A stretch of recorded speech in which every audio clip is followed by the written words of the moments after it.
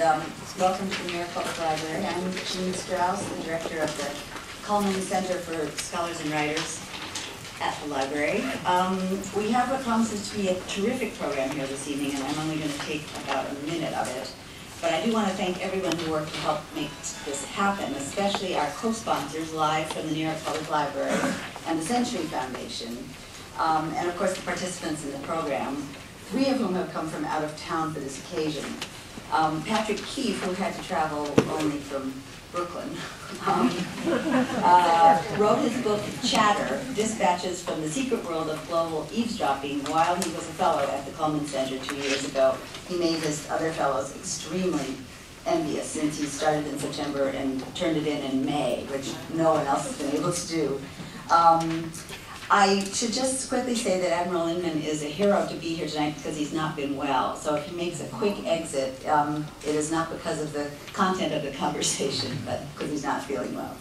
Um, so I hope that took less than a minute, and it's a pleasure to turn the evening over to Paul Holdengraber, who is Director of the Public Programs for the Research Libraries, now called Live from the NYPL.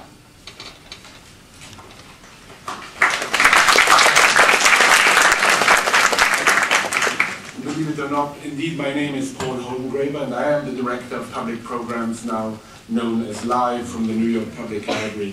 It's been a pleasure collaborating with Jean Strouse on a number of programs. Recently I had the pleasure of in interviewing Edmund White um, here at the library. I couldn't think of two events more different than the one we're doing today and having Edmund White here um, uh, months ago or so, and we will be doing another event with Slate magazine that is celebrating its 10 years of existence in about one month.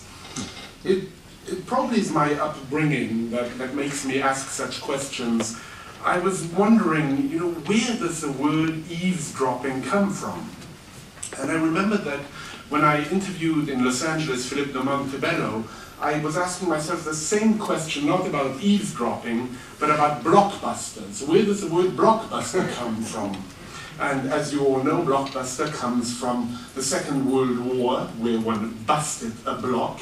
And the contrary of a blockbuster is a bomb, a complete failure. But eavesdropping.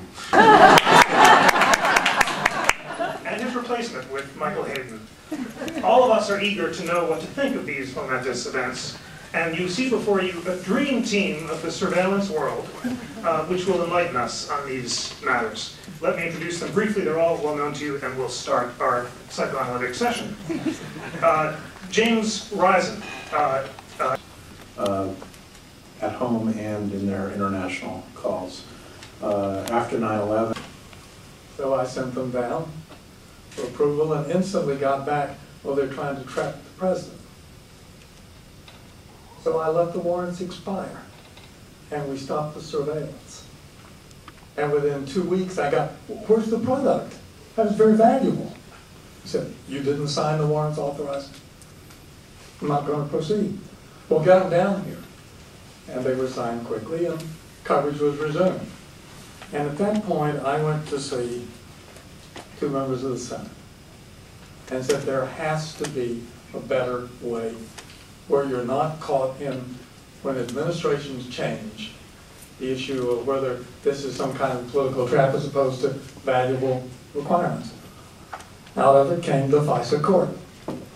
Uh, six, in the initial days, six uh, judges who were uh, from the appeal court state, selected by Attorney General.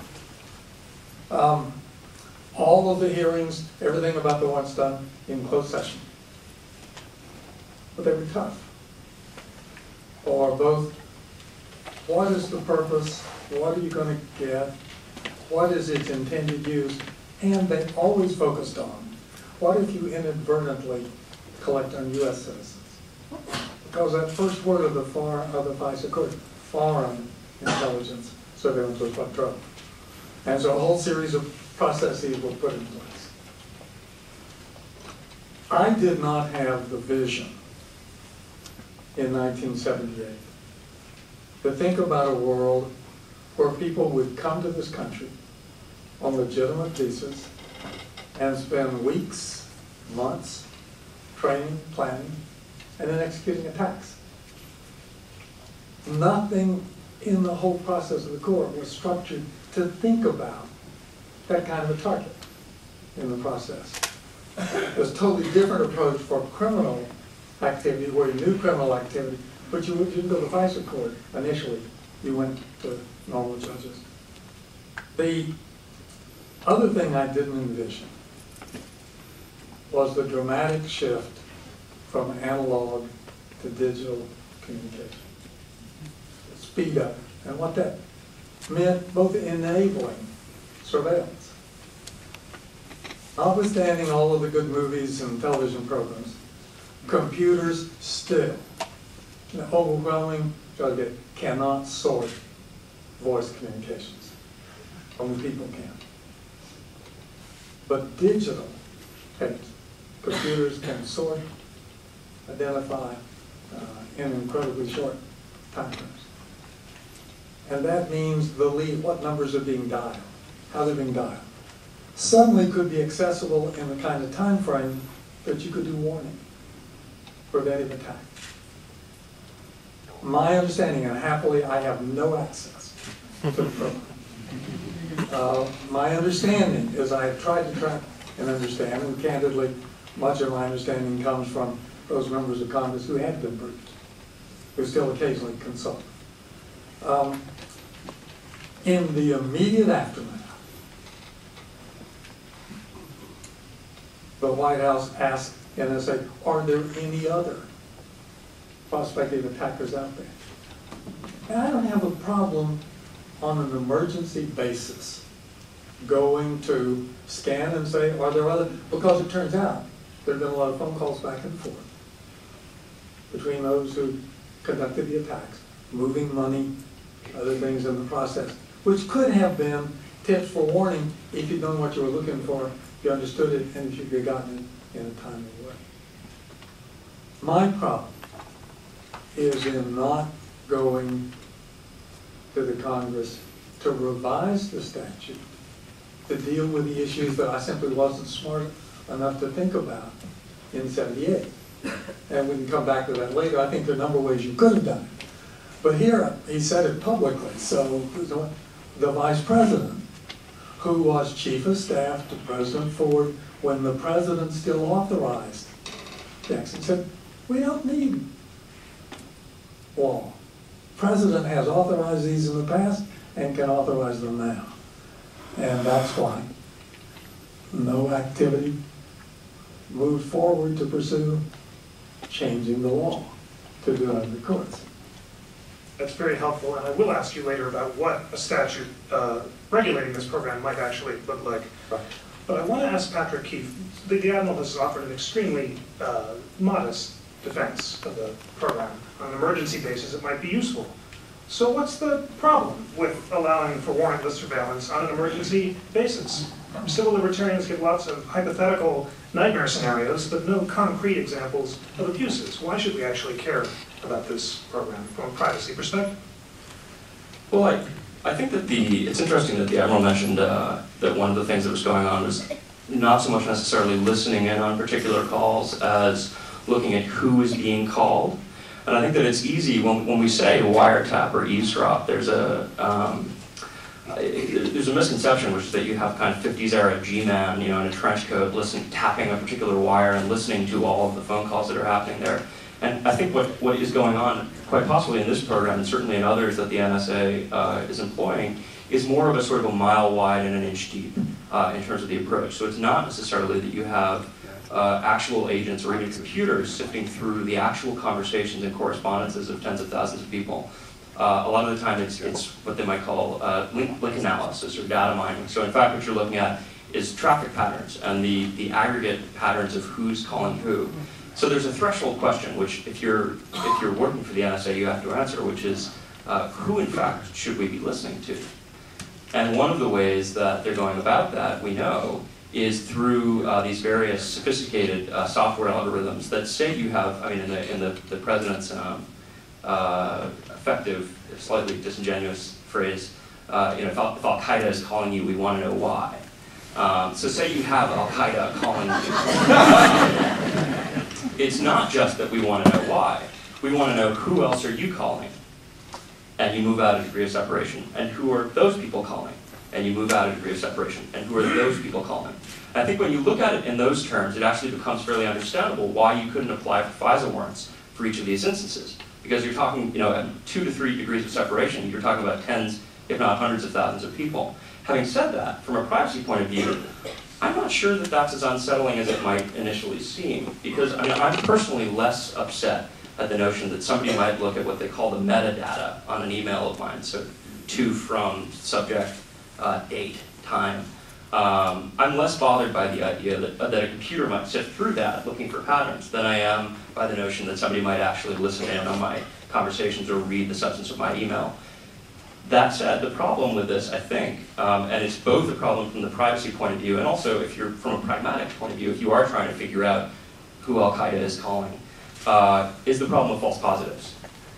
That say you do have that call from Afghanistan to New York City, and you do start working out by degrees of separation, it just stands to reason that even if you have a terror cell in the United States, a lot of these people are going to be communicating with people in a perfectly innocent way. It could be the person you rent your apartment from. Uh, it could be somebody that you know on your on your job. And once you start working out, people get kind of ensnared in that associational web. And I think that that is a real danger. And we know, for instance, uh, there have been pieces both in the Times and the Post saying that uh, the NSA would use this program to generate tips. And so you basically have leads. And in many cases, those leads would be given to the FBI. And the FBI would actually send people to chase down these leads and find out where the substance was. And the vast majority of these leads ended up being dead ends to the point where it was actually a joke at the FBI that when they would get this a new batch of tips from NSA, they would say more calls to Pizza Hut. Uh, which, you know, to me, uh, if, if you're the guy at Pizza Hut and Al Qaeda's not calling you, that's troubling from a privacy point of view. Admiral, and But let's start. this, this really does let us zero in on why this whole new world of international terrorism, which are not state, often state-controlled or state-supported, has become much more complex. When we worry about attacks inside the country, I spent 20 years of my life out supporting operating forces, looking for indications and warning possible attack. And you sort through hundreds to thousands of fragments looking for any lead that might be, and frankly, your intuition to connect them is often the difference. It doesn't surprise me at all that the FBI thought these were useless. They've never been in the indications and warning business.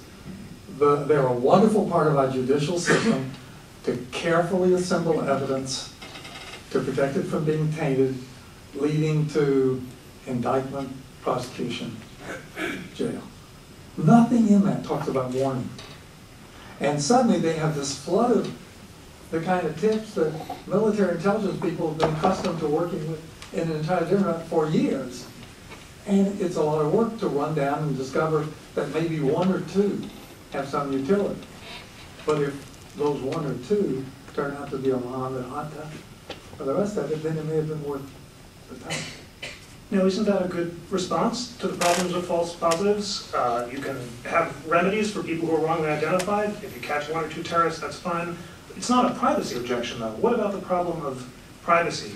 The most concrete criticism I've seen of the program is that it might raise uh, something along the lines of the Nixon effect. Basically, just as President Nixon wanted to retaliate against his critics by auditing their tax returns, so this administration could, and some suggest have, uh, looked at the data of its critics and threatened them with retaliatory prosecution. Is that a danger separate from the problem of false positives?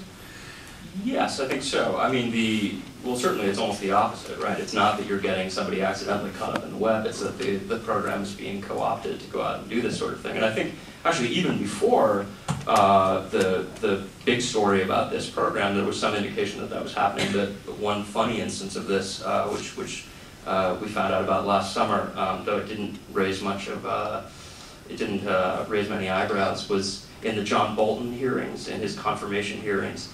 Um, I mean, again, another problem with the if Al Qaeda is calling you line is that it's actually, if Al Qaeda is calling you, and we, we are listening to somebody in Afghanistan and they make a call to New York, it was always fine to listen to them. You never even needed to apply for a FISA warrant. What you did was you, when you got the intercept of that conversation and you developed a report on it and distributed that report, you redacted the name of the American.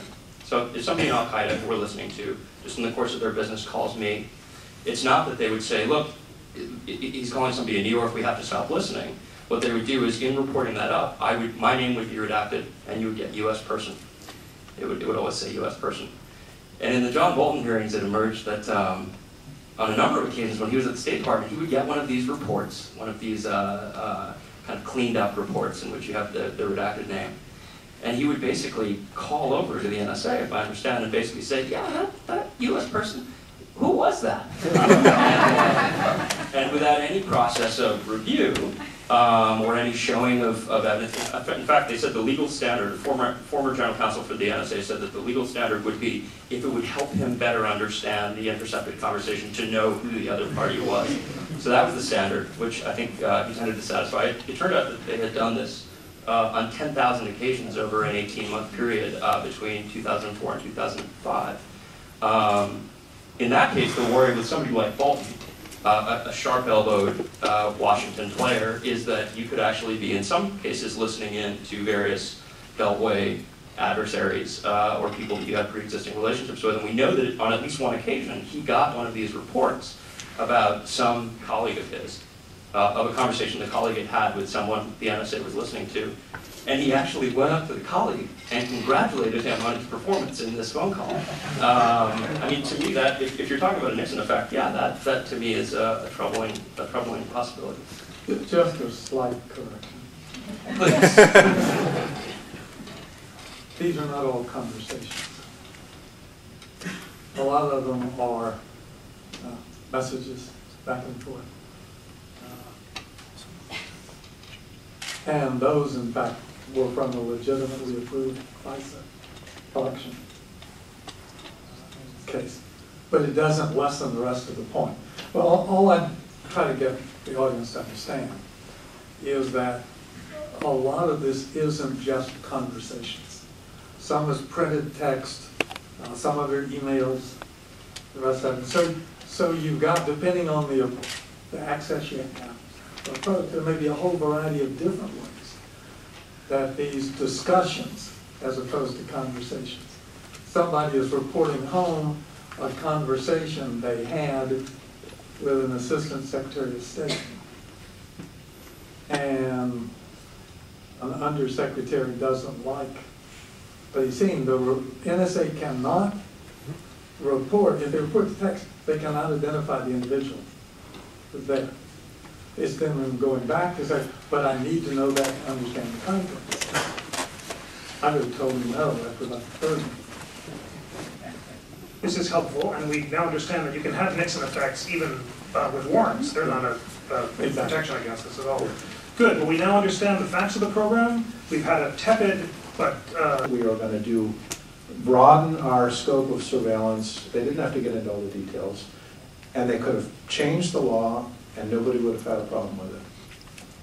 Admiral, tell us about uh, General Hayden.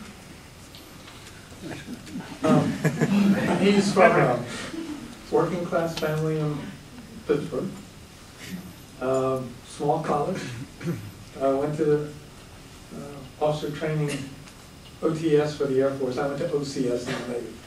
Um, He, um, early on, got assigned to strategic planning activities, at a gift for it. Uh, It was not a traditional Air Force career. He ended up um, being uh, National Security Council staff for a period. Um, He was actually, he got promoted up to three stars without the normal command tools. And he was out in Korea as the Deputy United Nations Commander when they were desperately looking for a successor. And they didn't have anybody then functioning in any of the intelligence jobs that they thought could do the job. So he came back, and I think he would even agree, he had a rough first year. Um, But he did prove over time to be somebody who could transform a large organization. Um, Not without some bumps along the way. Um, Even his biggest critics, by the end of his tenure, gave him pretty good marks uh, as a director of NSA. Why he would want, be willing to undertake this task. I don't comprehend. Uh, And the attacks are already underway from multiple sources, but the ones that catch my eye are the ones who focus on, well, gee, he doesn't have any human intelligence background. Either did Mr. McCone, uh, either for that matter did Stansfield Turner in the process. So that is not automatically disqualified. But I guess one of the reasons I have some confidence, I loved one of the papers today, talked of the worry that he was too close to Secretary Rumsfeld. Rumsfeld can't abide him because he didn't support him on the legislation. And in fact, made the judgment, testified in the committees, he and Jim Clapper, uh, who are both, they were, became non-persons in defense. So if you were looking for somebody who wasn't going to be a captive of, at least for that reason, it was a good choice. Uh, But still, it's, it's an impossible task. I think what it shows, though, is the CIA is now permanently a backbencher. It's kind of formalizes what's been going on in the last couple of years, is the CIA, the Bush administration, and the White House in particular, hates the CIA with a passion, uh, for really the wrong reasons. They came to the Vice President and Rumsfeld and a number of other people at the White House came to the conclusion a few years ago that the CIA was filled with liberals and uh, who hated, you know, who were uh, anti-war. And, you know, they just never really understood the CIA. And they never really tried to understand it, I don't think.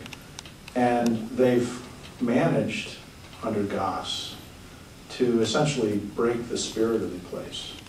And um, now, what, what really, what uh, I think Hayden's, as- as uh, Admiral said, Hayden and Rumsfeld hate each other, but really Hayden is Negroponte's person there. Negroponte, the DNI. This consolidates the view now, the position now that the CIA is essentially the, a deputy to the DNI. And uh, it helps consolidate Rum- uh, Negroponte's standing while he then has to have a fight with Rumsfeld. So, And just for the record, testimony I gave in January of ninety-six, I proposed exactly this kind of change, except I would have gone much further. And that was because I was persuaded at that point that CIA was already a broken agency. And unless you separated the collectors from the analysts, you would never get honest analyst approach, because they were always under pressure to make the clandestine collectors look good. Patrick Keefe, uh, we've heard that uh, General Hayden was crazy to want to take the job, and uh, that the administration should have followed the Admiral's excellent advice and uh, changed the structure of intelligence gathering long ago. Uh, Hayden's gotten into most trouble for his vigorous and robust defense of the of the legality of the NSA program. You're a recent graduate of Yale Law School, uh, using the dispassionate uh, objectivity that only Yale is capable of. Tell us, is this a close question about whether or not the program is illegal? If it is illegal, tell us why, and if it's not, why not? I, would- I would really struggling to be objective here. I, I don't, And I was perfectly happy to have that. This is in the wake of the Church and Pike Committee times. And I was eager to be able to persuade audiences that in fact NSA was not doing anything that was not authorized by the courts uh, in the process. And I think that's, to me, one of the great problems Hayden has politically now, is his credibility. He went, as you pointed out, he was in Korea before he was, he took the NSA job. And one of the things he told me years ago was that, well, right after, right about the time that he got the, the word that he was gonna take over NSA at the, near the end of the Clinton administration, the movie uh, with Will Smith, Enemy of the State, came out, which is, I think, the first movie really about the NSA. And there may been, maybe maybe there were some others, I don't know. But it, it made the NSA look like a bunch of murderous thugs who were out to uh, destroy the Republic, basically. Uh, And he, I remember he was very eloquent on the fact that that appalled him, that that image was out there of the NSA. And he realized that the problem the NSA had was that nobody really understood it. And so in this vacuum, you could say all these horrible things about NSA. And when he came into to Fort Meade, I think he was one of the, maybe, uh, maybe you did this when you were there, but he was one of the first NSA directors to really make an effort to get to know the press corps in Washington and to really have a public, bring, put the, give the NSA a public face. And he constantly was out there saying, you know, we don't spy on Americans. We never would spy on Americans. We follow the law. And he, his, one of his favorite phrases was, you know, we know that NSA always has two strikes on it, and so we're afraid to go for a third. And of course, after 9/11, he stopped giving those public speeches. And he left the impression out there that that was still the case. And I think that's one of his problems. He's got a credibility issue. I just had one quick uh, footnote to this. I mean, I, um, specifically with this idea of flying in the face of a very specific um, uh, act of, of Congress, um, I probably don't share your optimism, if we go back a few minutes, about the congressional response to this. Um, I mean, I think that this was a, in some respects, I think that this story is part of a larger story about uh, the transformation of, of presidential and executive uh, power uh, in this administration. And, uh, and I think to some extent, uh, Congress has abdicated its role here, um, and that you, you know you, you in fact have this great insult, which is that the FISA um, is uh, that we've gone around it. You have, and I think you bring this out really beautifully in your book that the big debate that we had in the fall of 2001 about the Patriot Act, all of the back, back and forth uh, about the provisions of this big law and, and, uh, and the fighting over uh, the details was a charade. I mean, all the while, behind the scenes, you had a completely different agenda that was moving along. This, to me, uh, is a sign that, that Congress is, is I mean, completely, uh, it's, it's a gut punch to Congress. And so it's, it's amazing to me that whereas uh, during the Church and Pike commissions, um, you actually had Congress, uh, a very muscular Congress, um, go out there and basically strike back against the executive and assert itself uh, and sort of create the FISA era as we know it. Um, here we have a total abdication, and I thought that, that rather than um, a, a, a kind of a strong response of the sort that you would expect, instead Congress just folded. Well, it's because you got the same party controlling. Well, this is, yeah. I mean, that's the problem. And I, I think you also have a factor here of when you had Church and Pike come in, um, you had the history of Vietnam, and you had the history of Larkin. And therefore, there was a broad public support for constraining the imperial presidency. I watched for 30 years the opinion polls that whatever the issue, a smaller federal government role in our lives always was at the top of the polls. Suddenly after 9/11, it dramatically shifted in weeks. And it stayed pretty high. Federal government has to act. Federal government has to do something. And I think that, or if they do nothing else, they read the public opinion polls. And I think that encouraged a shift. And you already had, he's been public about it, the vice president's view that much too much was given away back in the earlier eras. I do think that that's, that's starting to wear off. I think, I mean, now, one of the things that strikes me is there's now been more time between today and 9/11 than between Pearl Harbor and the end of World War II. And uh, so after five years, I think we got to, can start to have a debate about how much of these emergency measures and, and this, the kind of the, the whole, the, the color-coded world that we had, uh, how much we want to keep that as a permanent infrastructure. My my word, Jim, is the next attack. Right. and what the nature of that attack is and where it is, and that that could propel us even further Yeah. than this one does. Uh, But I think Iraq has kind of poisoned the well on the political, political side of that. Anything overseas, but Mhm. another attack inside the country, I I have some worries Yeah. about where it might take the country. Well, This debate that uh, James Risen and Patrick Keefe are having uh, raises the central question, who will save us? Will it be Congress or the courts? Who is more likely to impose the kind of oversight that it sounds like all of you agree is necessary?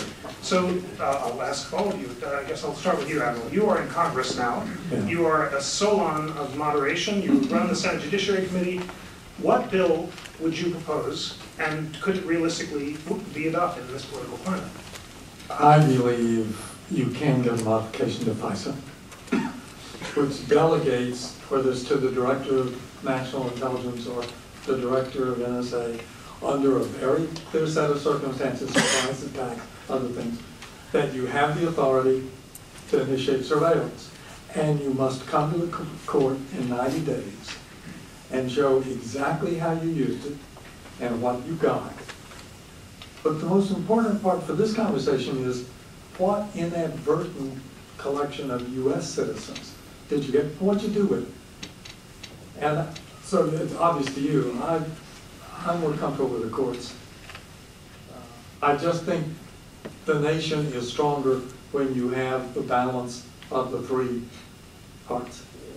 Do you think that the suggestion that you've uh, offered should be imposed by the courts? Should the Supreme Court The say? courts can't do it, Congress has to enact it, Congress enacts it and the courts administer and it. then the courts administer it. Okay, that's all. Uh, And there's some people in the Congress who are attracted to the idea. Don't you think, though, one of the problems the administration now has is that if they don't work with Congress to modify FISA anytime soon, and if they kind of, if the, if the legislative work stalls, that the courts will have no choice but to deal with this as being outside FISA, and that there will be legal challenges that will then be more damaging to the administration than it would be if they dealt with Congress on this. Absolutely. And you're, th- this is really going to ultimately test of whether the president walks away from the vice president on this issue. If they elect to work with Congress, it's because he finally decided he needed to move into